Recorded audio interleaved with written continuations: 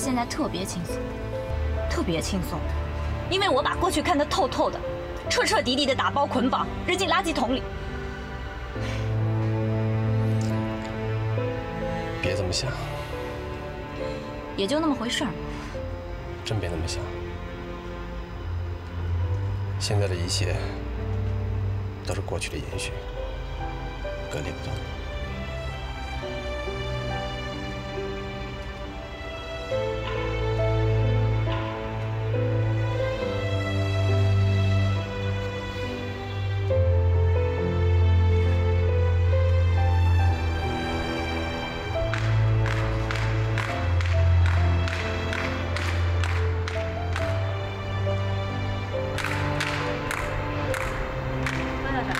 沈老师，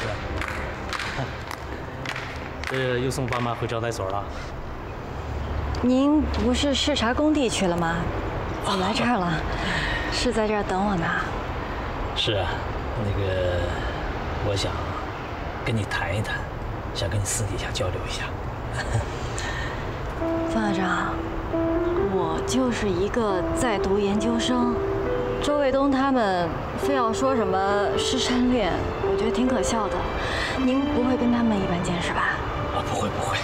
哎，申宇啊，哎呀，我是想想让你仔细的考虑一下，你们这个结婚的决定，是不是有一种这个我冲动的成分，或者是赌气的成分？哎，申宇跟你说啊，这结婚可是人生的一件大事，一定要考虑好，不能盲目的决定，是吧？孟校长，您那么日理万机，这么小的事儿就不劳您操心了。我可是看着你成长起来的呀，谢谢干爹。大傻是不是？啊？哦，您不是我干爹呀？那您那么操心干什么？我这不是操心，我这是是您还是听信了那些流言蜚语？沈局长，你这么说话就不对了啊！行了，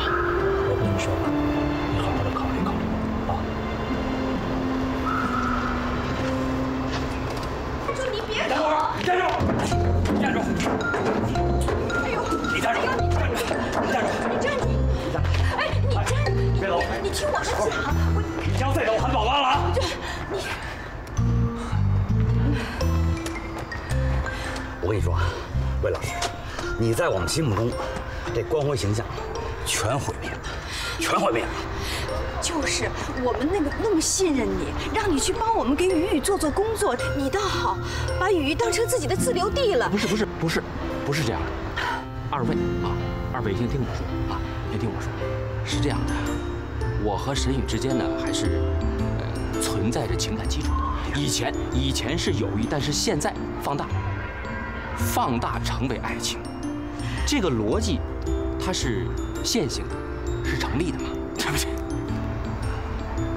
这个事儿吧，这样啊，你别扒拉啊，好好，请请请请。这个问题它是这样，呃，二老必须要这个了解一些内因。什么内因呢？就是我和沈宇，不仅是导师和学生，而且我们还是同事，在很长时间的工作和学习中，由友谊变为爱情，呃，这叫哎对，革命情感，这个里边是没有任何猥琐的成分，对吧？对，不对，不是，呃，先不要急于下结论，我相信。呃，二老都是从那个光荣的年代过来的人，所以对“革命情感”这四个字应该很容易理解了，是不是？既然定义为革命情感，那么这份情感就是纯洁，且是神圣的，怎么怎么会这个缺乏尊严了？他他他他这一说，我我还接接不上趟了！他这是文化人儿，他他都出口成章啊！啊，对了，你跟我耍嘴皮子是吧？对啊，没有没有，这个不是耍嘴皮子啊，也不是空口说白话。呃，这样哈，我们我们换一个角度来看这个事情，就是这样的哈，呃，二老成批成批的给沈宇发这个相亲对象，目的何在？那我们家务事你甭管。好，那么我替二老分析一下啊，目的就是在于，希望沈宇能够再次嫁人，是不是这样？是，对吧？好，那么基础成立了，我们在这个基础之上，我们相较一下，我，这个师大中文系主任，而且是全国最年轻的博士生导师魏明，和二老批发给沈宇的那些个相亲对象。孰优？孰劣？什么孰？什么优？不是，就是 你，我说不过你。我告诉你啊，我觉得吧，他说的好像哎，不是那个，你们俩到什么程度了？不是我说你们之间的感情有那么坚定吗？方校长，肥短流长是人类社会无法清除的陋习，对不对？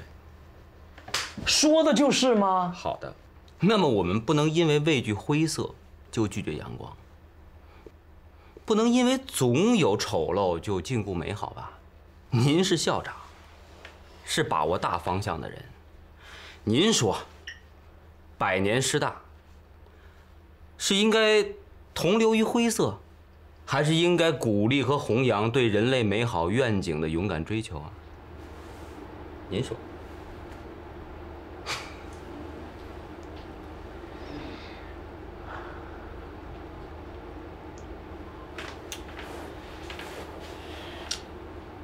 当然，这魏老师说的话吧，也有道理。可我跟你爸这心里啊，觉得还是有疙瘩。那我就嫁那变态编剧呗，把自己往死了整，行吧？哎，我说你这孩子，你怎么总抬杠呢？小雨啊，以前那些不合适，咱们再找啊。不是眼面前的你们不要，你们非要满世界淘货，你们都什么心态啊？我就不明白了。哎呀，话怎么能这么说呢？那怎么说呢？魏老师对我有感情，懂体谅，我为什么不嫁他？嫁了他，我马上就搬进三室一厅，事业上还能得到帮助。我为什么追求优秀，你们非要给我拆台呢？我就不明白了。他父母公职退休，远在千里，没有负担，他们也不会死乞白赖的非要搬进我们家来造成婆媳矛盾。弟弟弟媳妇儿都有自己的事业，无需帮助，无需支援。这么百年不遇的家庭环境，你们为什么还有一堆堆的反对意见呢？我就不明白了，凭什么呀？说的也是哈。是，这个这个魏明儿吧，我跟你说，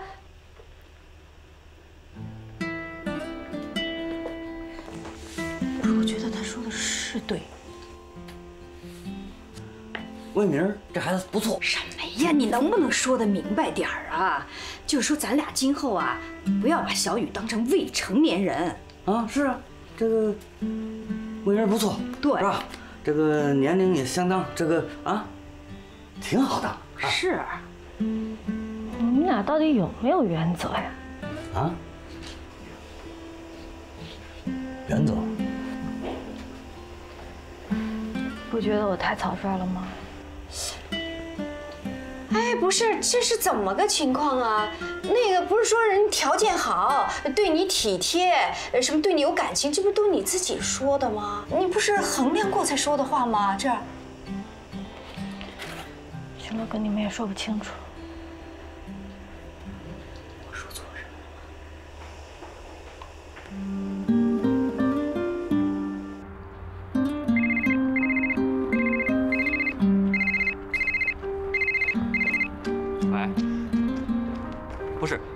该说的话我都已经说了，其他我没这我没有什么好解释的。方校长，我还是那句话，现在是我结婚，我要顾及谁呀、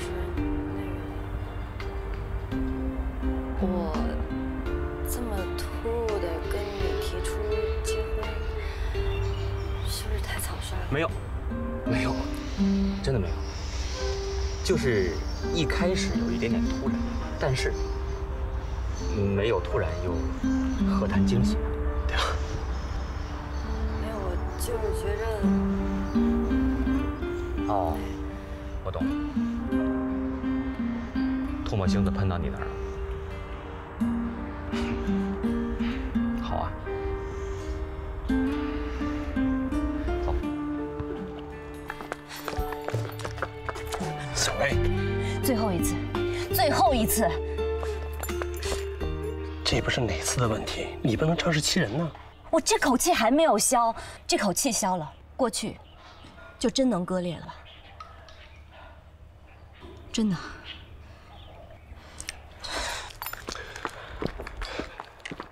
就是举报你违章停车，你至于吗？这忙你到底帮不帮吧？我就是想不明白了，都说你和华伟林挺那个的，怎么结上仇了？你少废话，不干，我另找他人；干，绝对有你的好处，就这么简单。这个让他丢掉工作，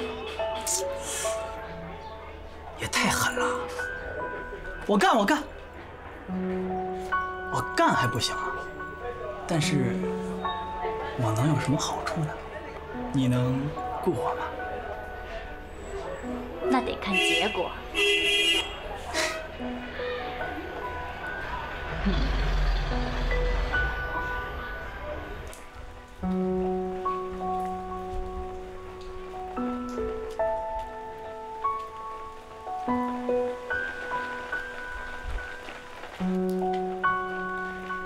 哎，对不起，这里不让摆摊。啊，我懂，我懂。哎，行个方便，你这干嘛呀？行个方便，行个方便。哎，别别别，你这干嘛呀？别让别人看见了。哎，装别别别，着装上，你别这样啊！行个方便，行个方。你别这样。哎，哎，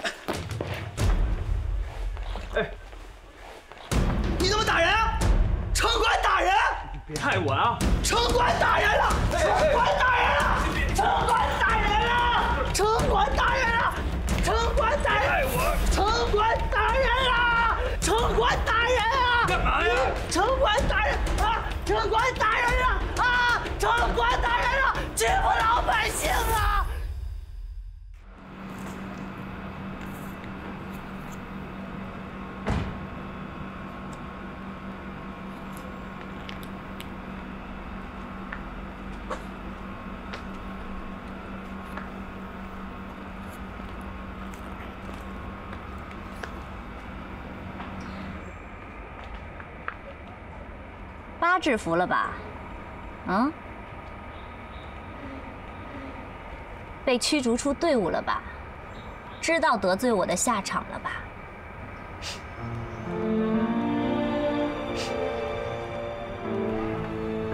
拿回车本的时候，我忽然有一种燥热热的感觉，烧得我很难受。我就觉得有一个声音一直在跟我说，我不是原先那个顾小薇了。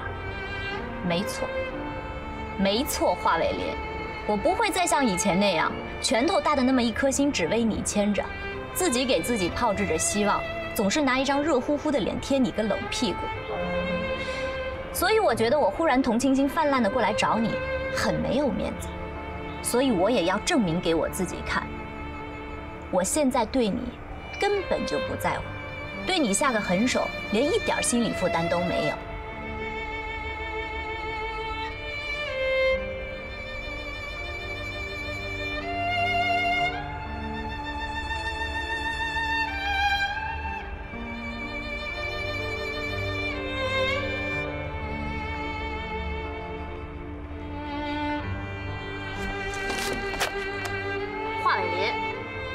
就是拿着别人那点喜欢在欺负人，你根本就一无是处。我都躲这么远了，还不行吗？彻彻底底的征服你一次，我就彻彻底底的 game over。你为什么还那么孤独？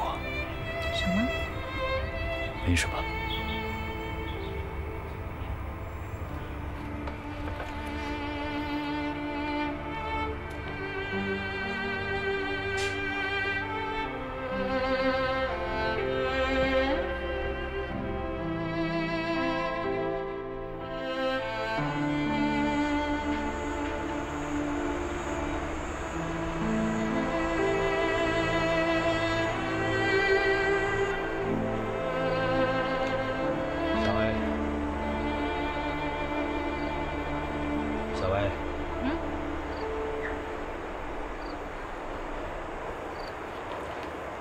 天我们去玉皇山，我朋友在那儿开了一家餐厅，就在山顶上，特别有意思。小薇，明天我回去了。别呀，你不是还有好几天的假呢吗？你已经没心思陪我了。不会，华伟林，那只不过是一个小插曲而已。还记得我说那话吗？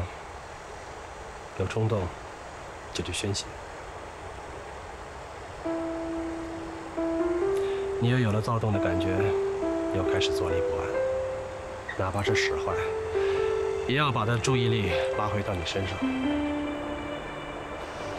没有，你生气，是因为你满腔热诚，却遭了盆冷水，是他见到你了，却要隔离你。你征服不是为了 game over，而是为了重新再希望。老朱，你不是个会吃醋的人呀。我当然没有吃醋，我只不过是在不合适的时间修了一个不被你认可的家。回云锦吧，找家好点的餐厅，走前请你们家人吃个饭。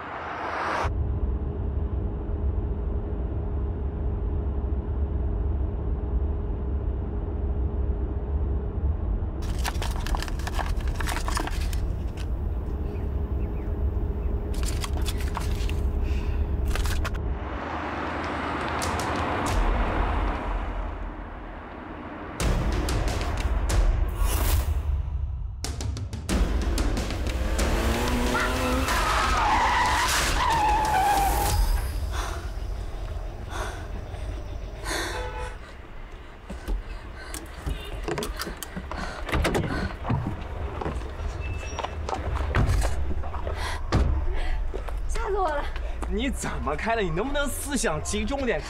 哎呦，吓死我了！谁开的车？你呀、这，哎呦，哎呀，没事吧？哎呀，吓死我！你没事吧你？哎呀，新车还没磨合好呢。不是新车，是你新手的问题吧？什么技术啊，还敢上路？不是，哎都是他买了新车瞎嘚瑟，我就说坐大巴吧，他非不肯，还非说要练我，幸亏这轩轩他没粘着我们，要不然非得被你吓死啊！神经病吧你？不是，我说你们着急忙慌的，这是去哪儿啊？嗨，沈宇这不是要结婚了吗？他爸妈说让我们俩过去帮着策划。哦，跟谁啊？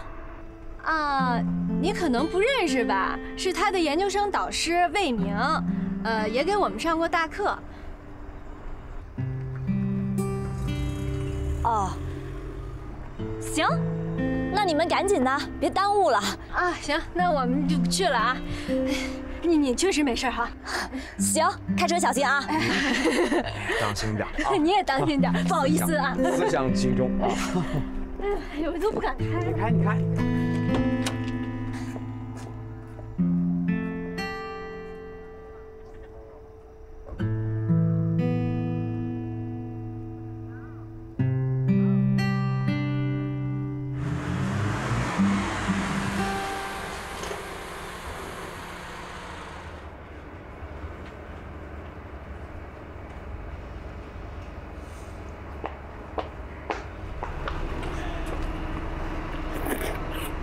那天你问我，为什么还那么孤独？那你呢？你为什么孤独？心爱的人不在身边，怎么都是孤独的，谁都没有办法帮你平复，就好像我本来以为我可以换个开始，倒霉催的又碰见了你，又乱掉了。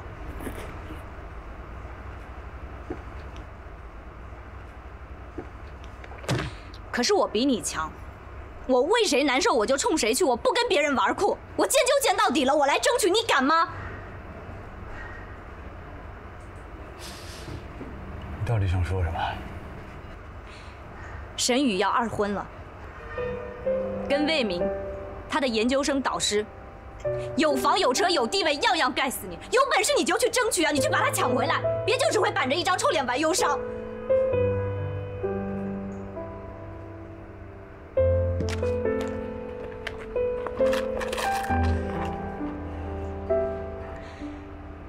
这个手机是给你买的，里头只有一个电话号码，沈宇的。既然你们离得荒唐，分得遗憾，那你就给他打电话，你告诉他你不同意，让他踏踏实实的等你回去。如果你连打这个电话的勇气都没有，那就把这个电话号码删掉。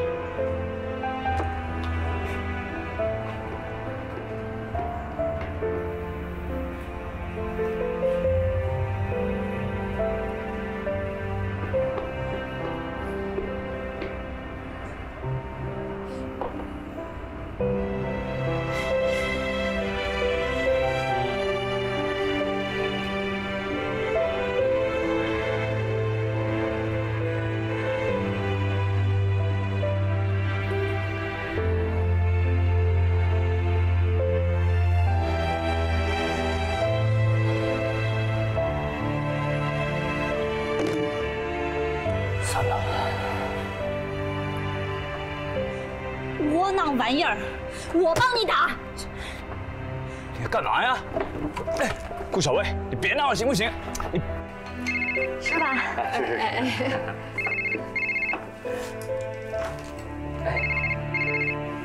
喂你别闹了行不行？哎，邝伟林，你有没有点出息啊你？别折腾我了行不行？你别折腾我了行不行？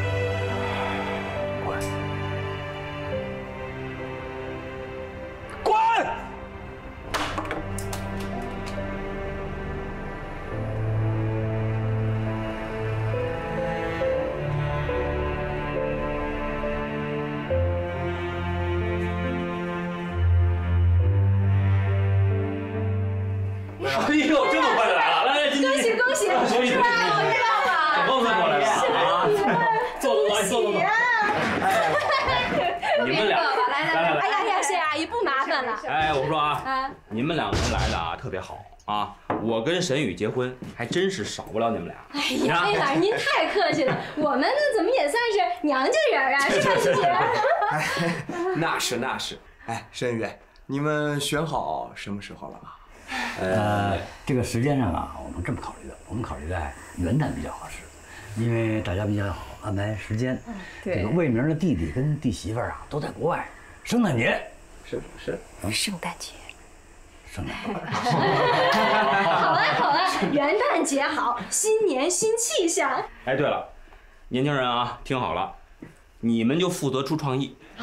我认为我们的这个婚礼啊，一定要搞得特殊一点，不求奢华，但求浪漫啊。咱们这个还不搞西方化的那种浪漫，咱不拷贝啊。主意你们看看。啊，好好好，那咱们好好策划策划，呃，方案不要婚庆公司出，哎咱们自己来，好吧？对对，魏老师啊，哎，还叫魏老师，这这孩子叫什么都行。怎么了？要不咱们再缓缓？啊？怎我觉得好像有点太草率、太仓促了，咱们再多给点时间，好好想一想，行吗？呃，我已经想得蛮清楚了。我知道，是我想再好好的想想清楚，再给我点时间，行吗？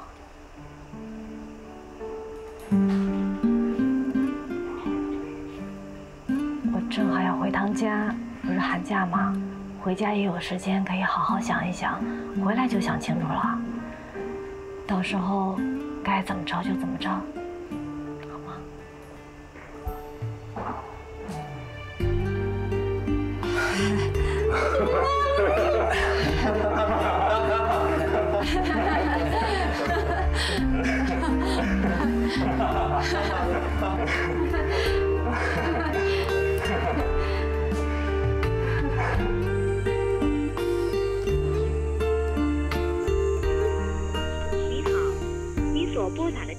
电话已关机。Sorry, the subscriber you dialed is power off.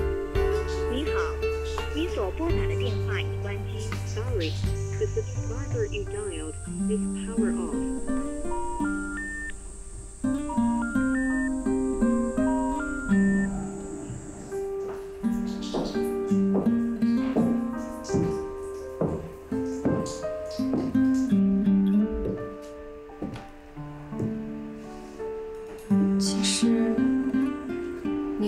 师的事儿，我们也觉得挺突然的。我爸妈就有转转圈的果论，还有旁边一堆人狗啊狗的。其实这事儿怪我，我早该说的，就是顾及这个顾及那个，真没好到了现在。可是，你真就没想过吗？苏格拉底的因果定律告诉我们，没有哪种结果是偶然的，包括选择。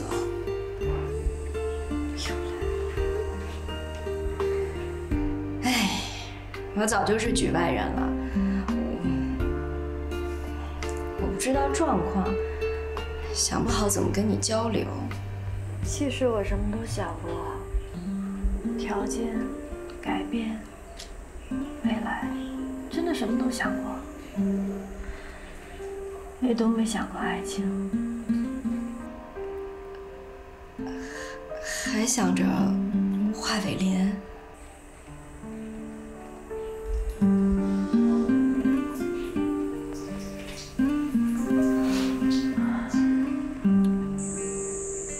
他到底想干嘛呀？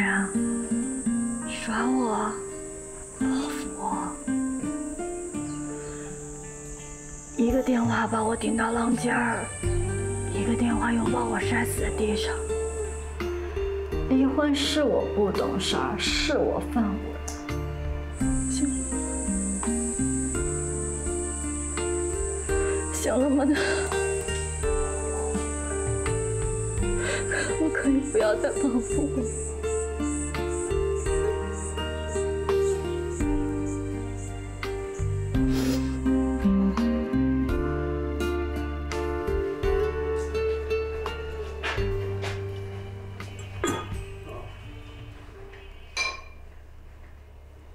几点了？刚回来啊？你是不是才吃药？就这破炉子，点了灭，灭了点，折腾半天。你别跟我撒谎，你就是忘了。这中药啊，就是个安慰汤，喝不喝的都那么回事儿。你重视点自己身体行不行？你说枪顶着也不做化疗，我依你。你中药总得按时喝吧？我不就晚几个小时吃吗？你叨叨叨叨叨叨什么呀你？啊！我告诉你吧，伟，癌症得了癌症怎么都行，你就是不可以怕，知道吗？就得有那种死猪不怕开水烫的精神。哼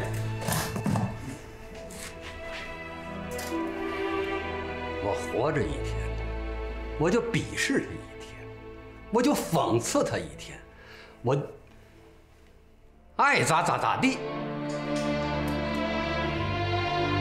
你们这些年轻人呢，缺乏的就是这种精神。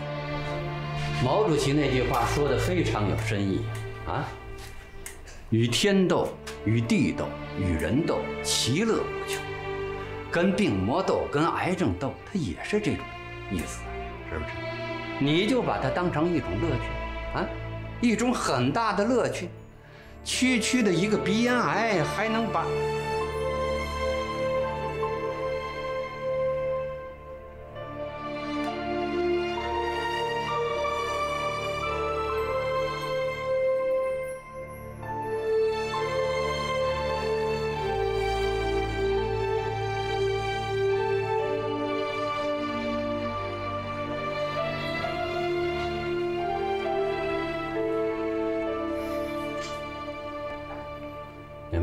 么时混在一块儿的？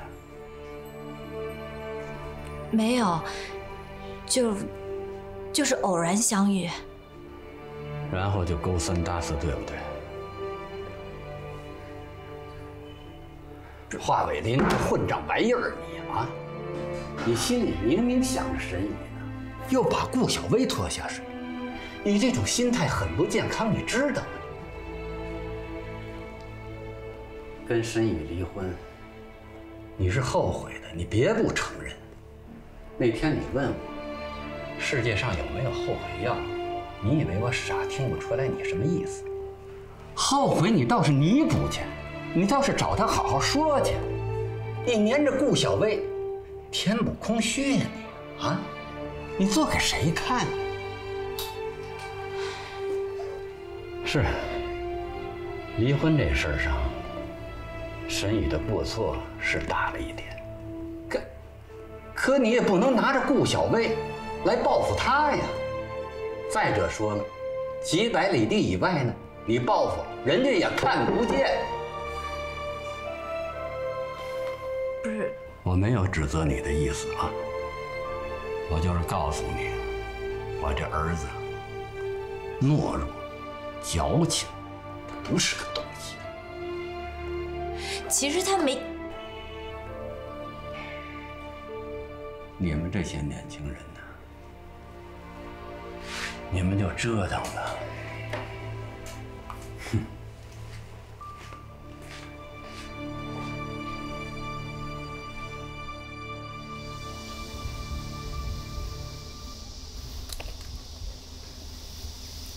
因为你爸的病吗？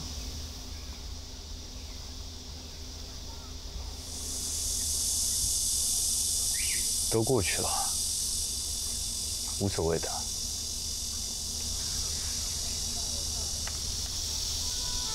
对不起啊。这不挺好的吗？就照着他的逻辑走啊。我利用你报复沈宇，结果这种不健康的心理啊，被他当面道破，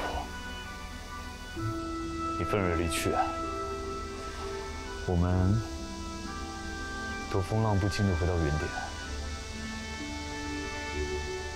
不知道真相，就不会气恨自己拖累你。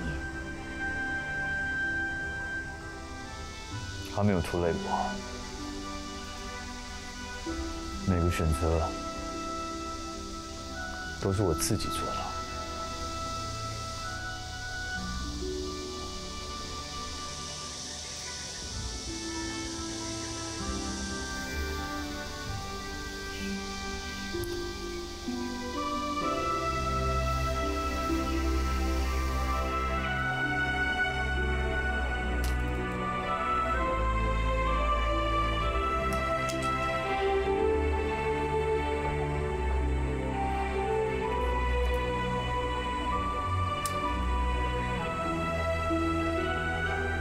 回去吧。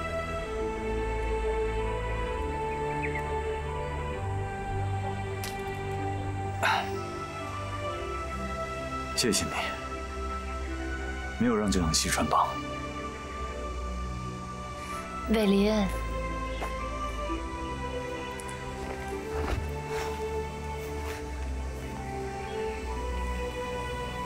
我不该折磨你的，害你丢了工作。过去的事儿都别再提了。不是，我也不知道自己是怎么了。我就是想折磨你，折磨到你跟我低头，这算是什么心态呀？我现在真的是后悔死了。你爸这病挺需要钱的，没事，我帮你好不好？你先别急着拒绝，你不要舍与承担。要说感动我跌份，不想；要说心疼，不知道。反正我们都不是因为寂寞在孤单，那就搭个伙呗。孤独期你也别一个人闷着，我也需要有个人督着。别太低级趣味了。老朱他不行，他总是惯着我。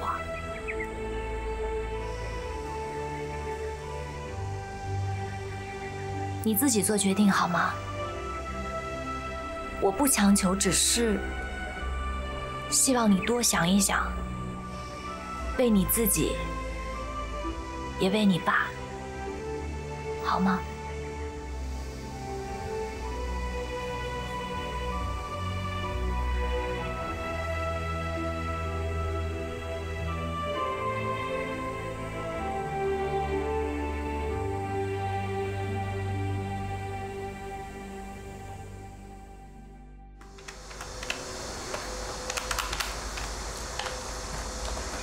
你答应过我的，我要是让华伟林丢掉工作，你得雇我。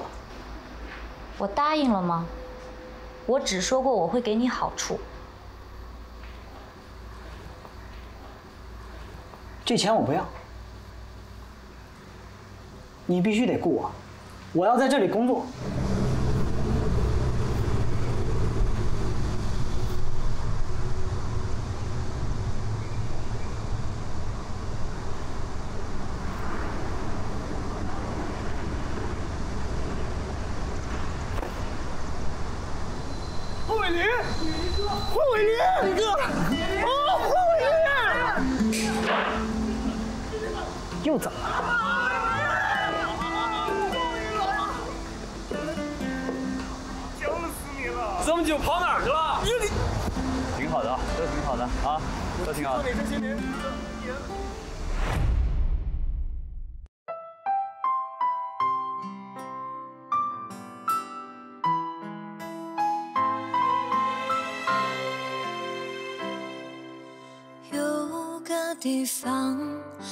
心里珍藏那么久远却无法遗忘。有段时光总忍不住回望心上的人儿不知在谁身旁。有朵花儿总在心中绽放。那么甜蜜还带着感伤。梦中的人儿是否擦去泪光？青春的激情融化所有悲伤。